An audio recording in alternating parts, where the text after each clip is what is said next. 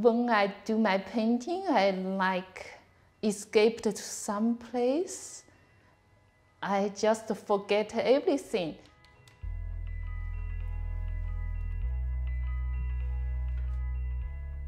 It's just like go to another world. I worked at a publishing house in Beijing, China as a graphic designer. I applied and was accepted into a MFA program at UA School of Art. When I decided to go to another country, a lot of people like, why? I just want to see another world. I don't want to stay in one place forever. You cannot see landscape like here anywhere. It's beautiful. I've been watching them every year. This year I decided to have a basket for them. I think they're safer. It's the morning before I go to work, I say hello to them. When I back home, the first thing is to go there to say hello to them. I'm enjoy off from uh, kids, but I did not do it. Late 30s, I found what I really enjoy is art. So I started later. This show is called Wander Around. I ask myself to draw objects each day after work digitally, use Photoshop and illustration to draw one thing. I started to pin on top of those digital images. I do so because I want to compare. Later on, I transfer to the abstract landscape, I think deeply how the technology could change the human life, not only art making process.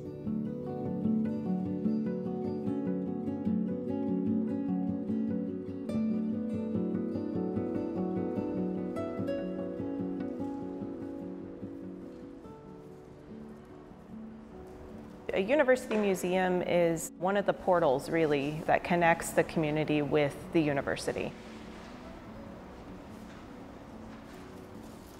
This show is by Xinyu Zhang. It's called Wander Around. This is a show that is timely. It's something that really everybody can relate to because it focuses on what is the, the balance that we need to strike with technology in our lives. Technology affects us almost every minute of the day. When you walk into the show, it's very visually striking. You know, the colors are brilliant, the images are really crisp, you know, and that's certainly the, the method that she's using, combining um, digital media along with acrylic paint.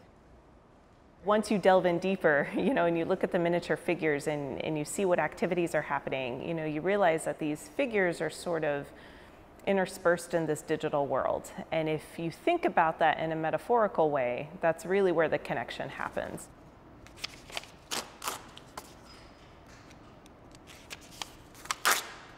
Exhibitions evolve. As the show started developing more, you know, Xinyu had said, you know, I'm, I'm considering adding some sculptural elements, um, these paper pieces. I just said, you know, can you elaborate more on the relevance to that? She's made the great connection, you know, which again is relevant to everybody's life, but also deeply personal for her because she has done book design and graphic design.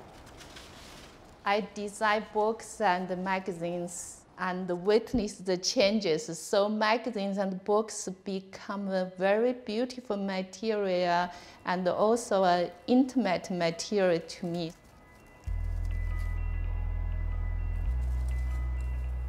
You don't know what's going to happen. Not everything is uh, so sure. I think that's a good feeling.